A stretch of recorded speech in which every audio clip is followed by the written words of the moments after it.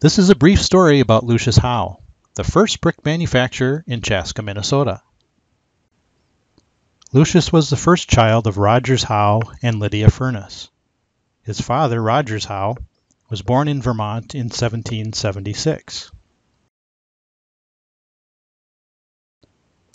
Lucius was born January 13, 1801, in Jamaica, Vermont. Little is known about his early life.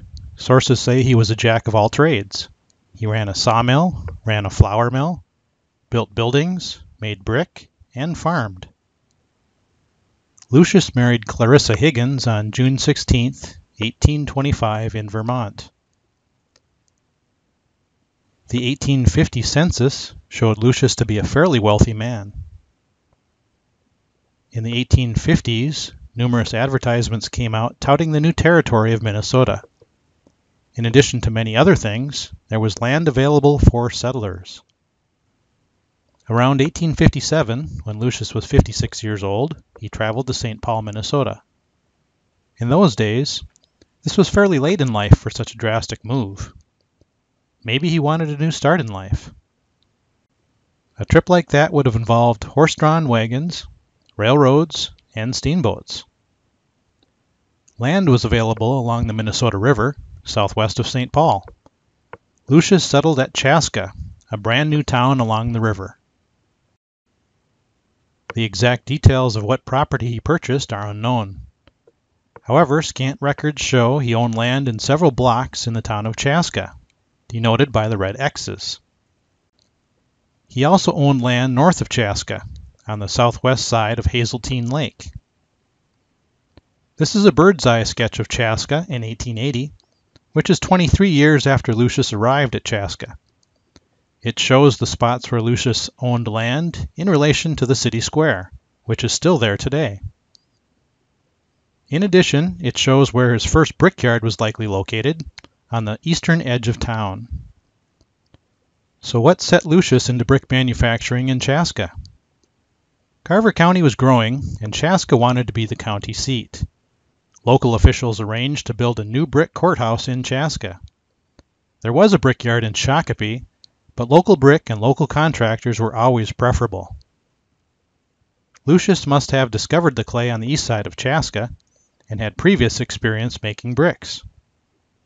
The courthouse would require about 575,000 bricks.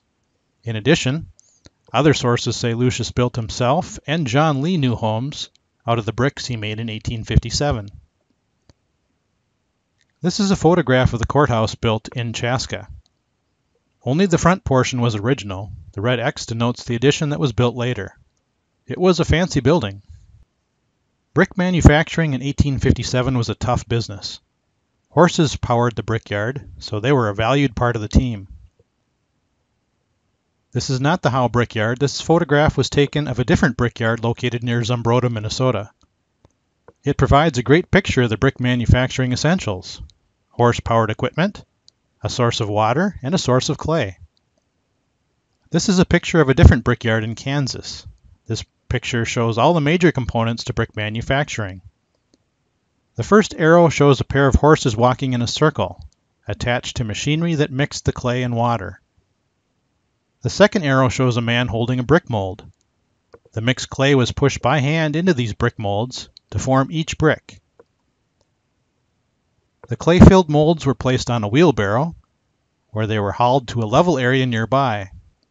There the wet bricks were dumped on the ground to dry in the sun. When the bricks were completely dry, they were heated in a kiln to become stronger. The early kiln was just a wooden shelter built around the pile of dried bricks. Wood fires were started underneath the pile of bricks, which were kept burning for several days to harden the bricks. I have found no evidence that Lucius Howe made bricks from 1858 to 1862. Rather, the 1860 census listed him as a farmer. His personal wealth had dropped from $4,800 in 1850 to about 1,850 in 1860. He had used money to travel to Chaska, buy land, and establish himself. Most of the early settlers, even if they had operated stores in Chaska, also bought farms. Land was a good investment. Lucius got back into the brick business in 1863 at the age of 62 years. This is quite interesting, as brick manufacturing was generally a younger man's business, as it was quite labor intensive. However, Lucius did have several sons to help him. He made bricks again until 1872. This was a profitable time for Lucius. The 1870 census showed his personal wealth had shot up to around 21,500. Chaska was growing and needed more building material. But more importantly, St. Paul needed more building material. Chaska eagerly helped supply the explosive growth that occurred around St. Paul. Lucius Howe supplied the bricks that were used to make the Metropolitan Hotel in St. Paul. This large hotel was completed in 1870. 1873 brought several personal setbacks to Lucius. His house burned down in January, and his wife died in May. He was also advancing in age himself, being about 72 years old. Lucius Howe sold his brick manufacturing business in 1873 and moved to Glencoe, Minnesota, about 28 miles due west of Chaska. Several sources say that he also purchased farms in the Glencoe area for the children who had come to Minnesota with him.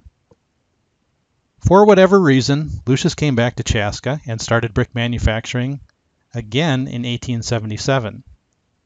At this point, he would have been about 76 years old. He continued to make bricks until 1878. Sources say Lucius was involved in several lawsuits that cut into his personal wealth. The Chaska newspaper from 1874 and 1880 detail some of these issues. At that point, Lucius was spending most of his time back in the Glencoe area, where he died on February 15, 1881. Lucius and Clarissa had 13 children. However, not all of them lived to adulthood. Emmons worked with his father in the Chaska brick business. He later moved to northeast South Dakota, where he also started a brickyard and farmed.